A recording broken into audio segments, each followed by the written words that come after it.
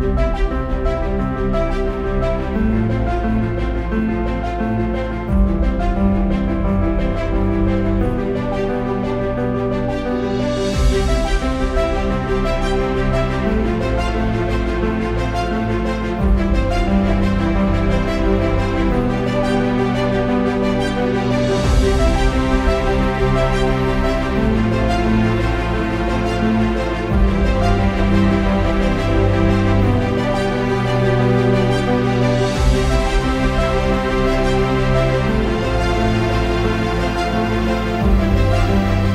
Bilgisayarın farklı olan yönü çocuklarla birebir temasa geçmesi.